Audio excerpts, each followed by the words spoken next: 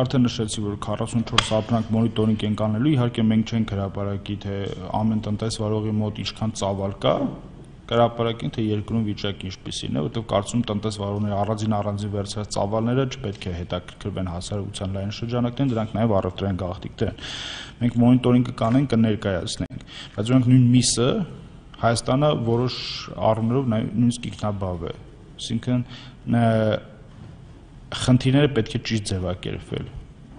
միշտ չի նշանակում, որ դուք պահեստում ունենք սառեցված այսքան տոննա, չկան կենթանիներ, որոնք դառնում են միշտ դա միշտ այդպես եղել։ Մենք կներկայացնենք այս թվերը, կհրապարակենք անդադար, որպեսզի մարդիկ խնդիրները եւս հասկանան։ Այլուրի մասով ելի եմ կրկնում, այս այսօր առավոտյան եմ խոսացել Հայաստանի Հանրապետությունը պաշարի եւ ծավալի խնդիր չունի։ Եվ մի հատ բան հուշեմ, սպիրտի մեծ մասը նաեւ ցորենից է ստացվում, չէ՞, կա ինչ է կարծում, թե մենք այդքան ցորենի խնդիր ունենայինք, թեկուզ նա ֆուրաժային ցորենի եւ բանի խնդիրն է։ Մենք այդ փորձենք տեղաբաշխումներ կատարել եւ ներմուծումը այդ ձև իրականացնել։ Սա պաշարների մասով գների վերահսկողությունը կարծում եմ բացի մոնիտորինգից մենակ պաշարների անդադար ապահովումն է, որ հանկարծ դեֆիցիտ չլինի, դեֆիցիտի պարագայում գները չբարձրանան։ Հիմա այս պահին հավաստիացնում նման խնդիր չունենք։ Դուք կարող եք ինքներդ գնալ առևտրային ցանցեր եւ տեսնեք։ Հա, իհարկե, տորվա, այսպես ասած, աժոտաժից հետո երեկոյան միգուցե ապրանքներ չի լինում, բայց երեք երեկոյան մենք եւս մի անգամ մշտად իրգարկում ենք արել, երեկոյան արդեն ուշ ժամին, որ տեսանք արդեն խանութներում դարակաշարներ լիք են, մարդիկ չկան։ Այդ բումը վերջը եւս չէ իջնելու։ Հիմա լավ մարդը գնաց, մենք նկարներ ունենք սուպերմարկետներից, որ մեզ փոխանցում են, մի քաղաքացի առել էր անկեղծ եմ ասում 108 հատ, եթե չեմ սխալվում, զուգահեռ թուղթ։ Հիմա դա ինչ ժամանակի հատվածի համար էինք առնում։ Այդ մարդիկ բնականաբար գնումների իջնելու են, չէ՞, չեն կարողանալու կան գնում անը, որովհետև այդքան ծավալ պետք չի։ Այս աժուտաժը իջնելու են ներքև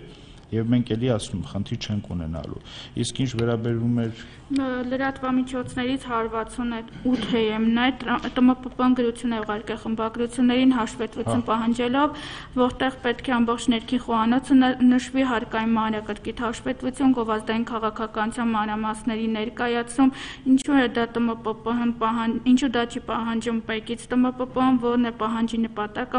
Խմբագիրները դա որակում է միջամտություն խմբագիրների աշխատանքին եւ պնդում են, որ ՏՄՊՊ-ի պահանջը պարունակում է կոմերցիոն գաղտնիք։ Շնորհակալություն։ Այո, ՏՄՊՊ-ի պահանջը պարունակում է կոմերցիոն գաղտնիք եւ ՏՄՊՊ-ն այն մարմինն է, որը իրավունք ունի ստանալ թե առևտրային գաղտնիքներ, թե հարկային գաղտնիքներ եւ եթե բացենք օրենսդրությունը կարդանք, տեսնենք, որ մեր մարմինը այն հանձնաժողովն է, որը ունի նույնիսկ հարկայինին հարցում անելից կարող է չնշել նույնիսկ տնտեսվար սուբյեկտ ՀՎ-ն, այսինքն ամենաբարձր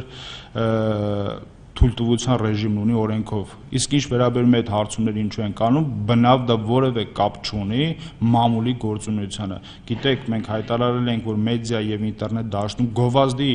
շուկայի ուսումնասիրություն են կանում, դա չի նշանակում որևէ մի տնտեսվարող սուբյեկտի նկատմամբ վարույթ, այսինքն ուսումնասիրությունը ասում ենք տեսնենք շուկայում ինչ խնդիրներ կա, կառուցվածքը հասկանանք մրցակցության աշճանը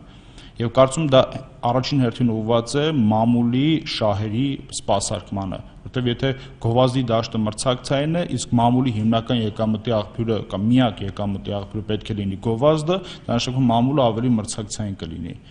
բայց սա մամուլի բուն գործունեության, այսինքն տեղեկատվության տրամադրում, հավաքագրում կամ